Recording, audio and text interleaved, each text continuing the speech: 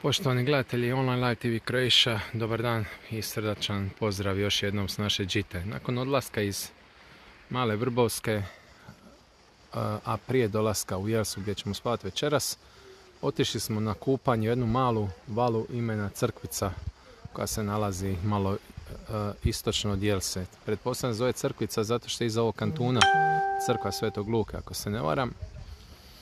A sama uvala je zaista predivno lijepa, osim ove, kao što vidite tu je ova kuća koja je zaista napravljena u jednom tradicionalnom dalmatinskom stilu i izgleda predivno. Samo uvala je jako plitka i pjeskovita, idealna za uživanje, a ispred nas se nalazi jedno imanje koje se meni osobno jako sviđa, predivno je, znači uz samo more s jednim velikim potpornim zidom ceste ispred njega i puno je e, vinove loze i maslina. Zaista jedan hedonistički raj. Evo upravo dok snimam prolazi jedno vozilo, to je prvo koje sam vidio u sat vremena koliko smo ovdje. E, uvala iza nas je specifična zato što se tu nalazi jedno odmaralište koje je nekada pripadalo gradu Beogradu i radilo je cijelo vrijeme, nažalost sada ga ne možemo poslikati jer se ne vidi. Trenutno je potpuno devastirano, radi se o nekih 60 tisuća kvadrata, to odmaralište imalo diskoteku, plinsku stanicu, bazen, razne sportske terene.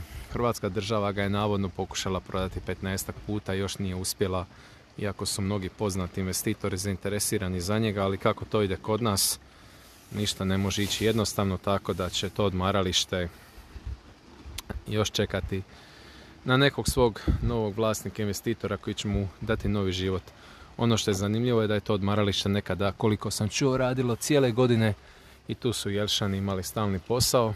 Međutim, dolaskom rata, naravno tu su selile izbjeglice, zatvorilo se Hotel se zatvorio i nakon odlaska izbjeglica završetka rata krenila je devastacija kako to ide kod nas.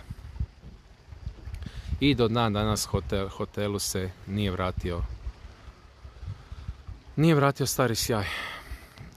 Pozdrav srdačan još jednom evo iz ove uvale predivne gdje smo stali na današnje kupanje i ručak, a mi ćemo se vjerojatno javiti još jednom večeras iz Jelse. Srdačan pozdrav svim gledateljima.